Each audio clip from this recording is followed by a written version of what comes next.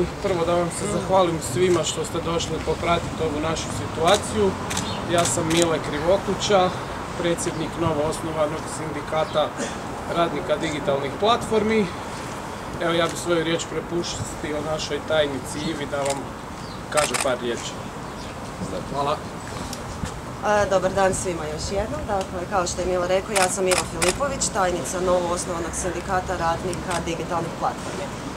E, kao što su svi već upoznati sa situacijom, e, dogodilo se to da Uber nije isplatio naknadu svojim partnerima.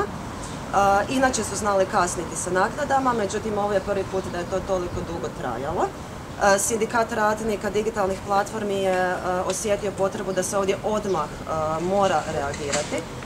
Zato smo i organizirali online sastanak u nedjelju sa svim članovima sindikata, također i sa svim vozačima, da apeliramo na udruživanje vozača i da pošaljemo jasnu poruku Uberu da se ne slažemo sa njihovim odnosom prema nama.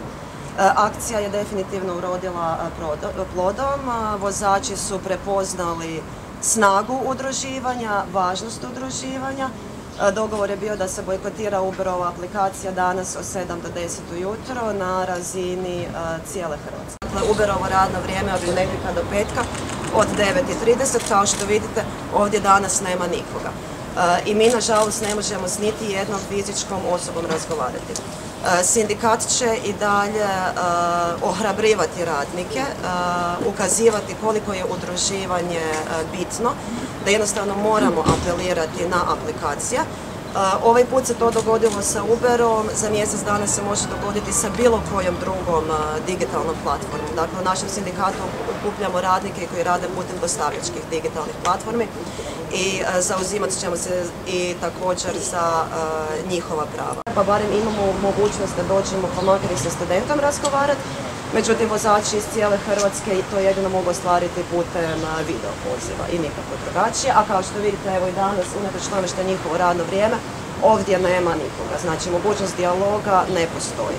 Koliko vozača ima u Hrvatskoj, a koliko ih su planovi u sindikat, pa ovako, koliko ima točan broj vozača putem Uberove platforme, to je podatak koji vam može dati jedino Uber.